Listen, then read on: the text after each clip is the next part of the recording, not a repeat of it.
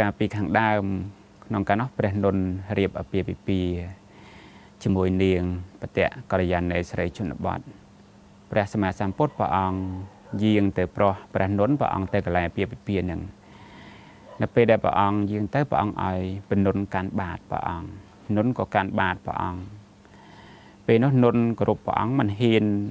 ហុចបាតទៅឲ្យព្រះអង្គវិញទេព្រះអង្គត្រឡប់ទៅកាន់កណ្ដកតពនុនក៏ទៅកាន់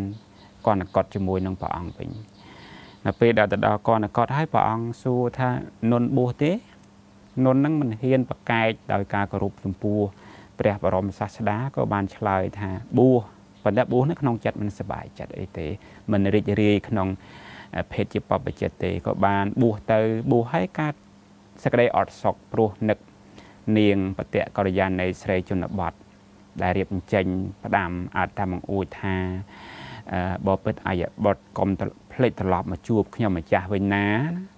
កើតទុកកើតសក្តីអត់សុខនៅក្នុងចិត្តចឹងទៅព្រះអង្គជ្រាបថានុននឹងនឹក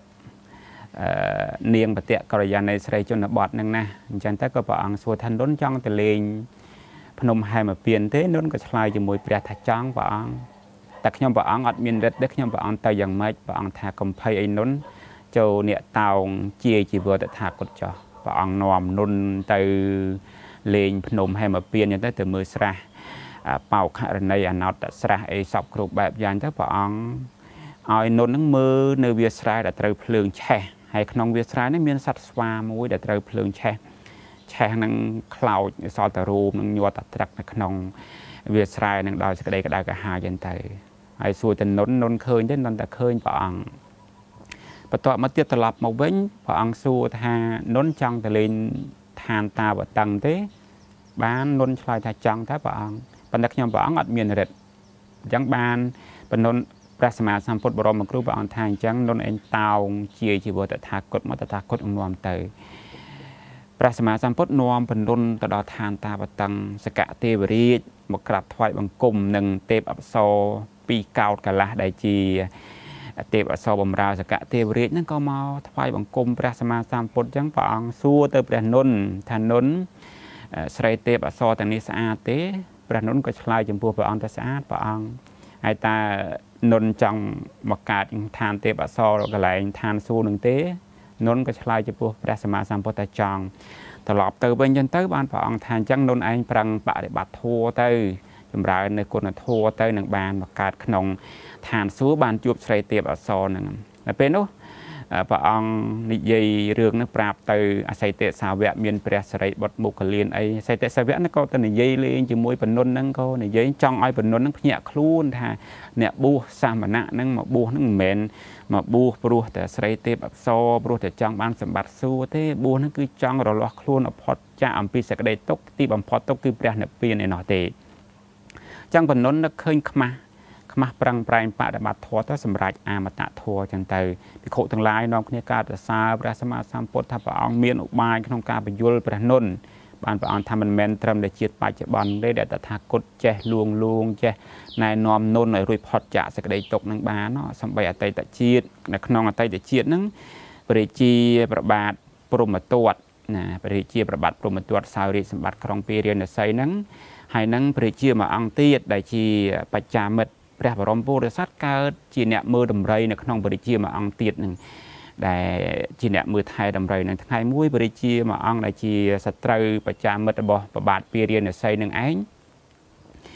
ប្រុងនឹងដណ្ដើមរាជលើកតបទៅមានពលដំរីពលអីជាដើមសពគ្រប់បែបយ៉ាងដល់ពេលលើកតបទៅដល់ពួកដំរីនឹងឯងខ្លាចពពួកកងរត់របស់ពពួកស្ដេចពារាណសីដែលកងតបរបស់ស្ដេចពារាណសីបាចខ្សេះបាច ខ្សាច់រងើកភ្លើងបាច់អេសពគ្រប់បែបយ៉ាងតម្រូវនឹងថយក្រោយណាតម្រូវនឹងថយក្រោយអត់ហ៊ានចូលទៅអញ្ចឹងទៅបានព្រះបរមពោធិសត្វដែលជានេហដ្ឋាចារដែលជាអ្នកមើលថែដំរីហ្នឹងទៅនិយាយលួងលួងដំរីថាមនីដំរីណែឯងជាដំរីមៀងគុលបរិបោដោយកម្លាំងអីសពគ្រប់បែបយ៉ាងណែឯងមិនសពណាបើខ្លាចបណ្ដឹងទេធម្មតាដំរីមៀងគុលដំរីខ្លាំងហ្នឹងគឺតែងតែប្រយុទ្ធក្នុងសមរភូមិសពគ្រប់បែបយ៉ាងអញ្ចឹងទៅធ្វើឲ្យដំរី មង្គលរបស់ពរិជាដែលជាសត្រូវនឹងខ្លាំងខ្លានឹងអាចប្រយុទ្ធដណ្ដើមរាជបានទ្រព្យសម្បត្តិអំពីបរិជាក្រុងពីរានិស័យនឹងមកសរុបបជាដាក់នឹងមកក្នុងការនោះនាយហត្ថាចាដំរីនឹងឯងគឺព្រះបរមពោធិសត្វនឹងឯងចម្លែកបរិជាគឺព្រះអនន្តឯនៅក្នុងនៃសក្តីនៃបជាដកនឹងឯងគឺចង់ អប់រំអំពីការទូមានមនុស្សតន់តែស្គាល់ចរិតលក្ខណៈបើសិនជាយើងអត់បានស្គាល់